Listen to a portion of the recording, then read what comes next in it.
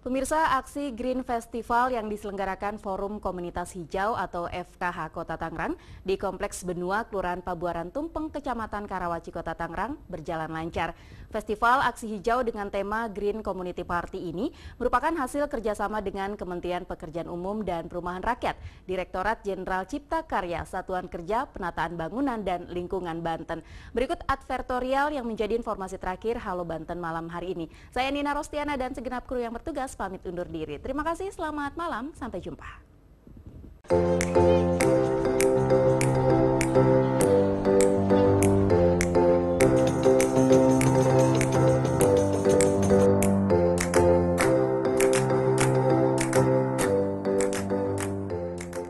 Aksi Green Festival yang diselenggarakan Forum Komunitas Hijau atau FKH Kota Tanggerang di Komplek Benua Kelurahan Pabuaran Tumpeng, Kecamatan Karawaci Kota Tanggerang pada Sabtu 3 Desember berjalan lancar. Festival Aksi Hijau dengan tema Green Community Party ini merupakan hasil kerjasama dengan Kementerian Pekerjaan Umum dan Perumahan Rakyat atau PUPERA, Direktorat Jenderal Cipta Karya, Satuan Kerja atau Satker Penataan Bangunan dan Lingkungan atau PBL Banten. Dalam kegiatan ini dihadiri Wakil Wali Kota Tanggerang Sahrudin, Kepala Badan Lingkungan Hidup Kota Tanggerang bersama unsur Muspida Kota Tanggerang serta Kepala Satker PBL Banten Sukseno beserta jajarannya.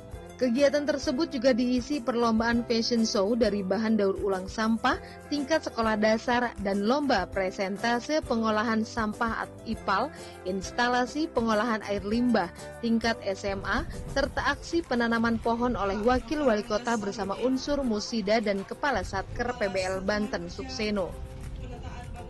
Ketua Panitia Penyelenggaraan yang juga pengurus Forum Komunitas Hijau Kota Tangerang Andika Wirawan mengatakan, Kota Tangerang dapat mempunyai taman-taman hijau. Itu juga menjadi dasar dibentuknya Forum Komunitas Hijau di Kota Tangerang. Tujuannya adalah untuk memperkenalkan kepada masyarakat mengenai pentingnya kepedulian kota terhadap lingkungan. Acara Forum Komunitas Hijau hari ini. Alhamdulillah hari ini ya pada hari Sabtu tanggal 3 Desember 2016 ya kami sudah uh, berhasil ya alhamdulillah menyelenggarakan uh, kegiatan ya kegiatan uh, festival aksi hijau. Nah, uh, festival aksi hijau di sini adalah amanat dari Kota Tangerang ya yang merupakan kota industri selaras pembangunannya dengan alam gitu ya. Kepala Satker PBL Provinsi Banten Sukseno dalam sambutannya mengatakan, Festival Aksi Hijau dengan tema Green Community Party merupakan rangkaian dari program pengembangan kota hijau atau P2KH yang digagas oleh Kementerian PUPERA bekerja sama dengan pemerintah kota dan kabupaten melalui perwujudan 30 persen dari wilayah kota. Kabupaten sebagai RTH Ruang Terbuka Hijau. Dengan pemerintah pusat diwakili oleh Kementerian PUPR beserta bekerja sama dengan pemerintah kota kabupaten untuk mewujudkan ruang kota, ruang perkotaan yang lebih berkualitas melalui perencanaan yang baik dan perwujudan 8 atribut kota hijau. Sesuai dengan amanat Undang-Undang Nomor 26 Tahun 2007 tentang penataan ruang yang mendukung perwujudan 30% dari wilayah kota sebagai RTH. Dalam kesempatan itu, Sukseno juga menyampaikan apresiasi kepada pemerintah kota Tangerang yang sudah mendukung kegiatan tersebut. Sementara itu, Wakil Wali Kota Tangerang Sahrudin mengaku bangga dan senang dengan program dari Kementerian PUPR yang konsen terhadap kota hijau.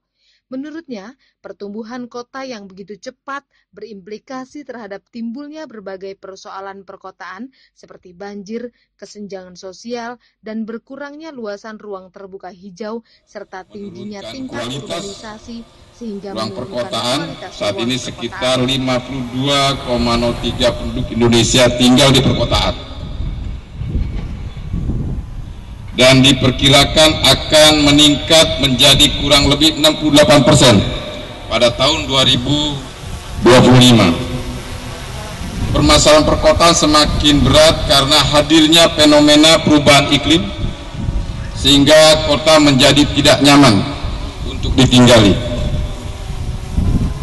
Dalam upaya memberikan kenyamanan dan lingkungan sehat bagi warga kota, konsep kota hijau dapat menjadi solusi bagi pelaku pembangunan kota hijau sedang dicanangkan di seluruh dunia agar masing-masing kota memberi kontribusi terhadap penurunan emisi karbon untuk penurunan permasalahan global. Kota hijau merupakan simbol kedekatan alam dengan pembangunan, karakteristik dan Kerentanan alam menjadi dasar terhadap konsep pembangunan berwawasan lingkungan. Dijelaskan Sahrudin dalam rangka memberikan upaya kenyamanan dan lingkungan sehat bagi warga kota, konsep kota hijau menjadi solusi bagi pelaku pembangunan kota. Kota hijau merupakan simbol kedekatan alam dengan pembangunan. Penyelenggaraan pembangunan yang berintegrasi menjadi sangat penting guna mencapai RTH 30 persen karena kota hijau di kota Tangerang saat ini baru mencapai 21 persen.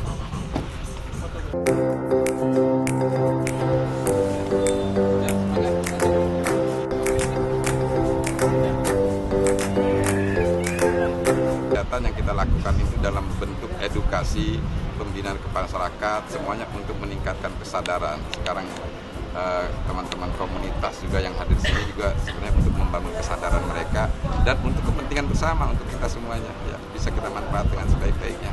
Termasuk program-program pemerintah apa pun yang dibangun itu uh, ya untuk seutuhnya untuk masyarakat. Kepentingan masyarakat. Oleh karena masyarakat juga memahami sehingga mereka bisa dapat memanfaatkan apa pun yang yang yang fasilitas yang dibangun Kota hijau ini e, sesungguhnya e, berkaitan dengan penataan ruang. Kami dari PBL Provinsi Banten di bawahnya ada PPK PP2B yang melaksanakan kegiatan-kegiatan ini bahwasanya kegiatan eh, Festival Kota Hijau ini salah satu salah satu komponen daripada kegiatan eh, apa namanya eh, penghijauan itu merupakan kegiatan limpahan dari anu Direktorat Jenderal Tata Ruang sehingga kami juga masih harus banyak belajar berkaitan dengan eh, ruang terbuka hijau berkaitan dengan apa namanya berkaitan dengan kegiatan-kegiatan yang uh, harus dilakukan untuk uh, melakukan penghijauan,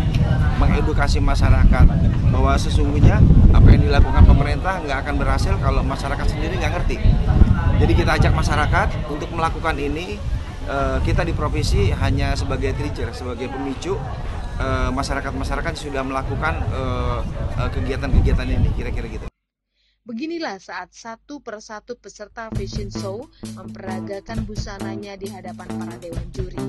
Busana yang berasal dari bahan bekas ini cukup menarik.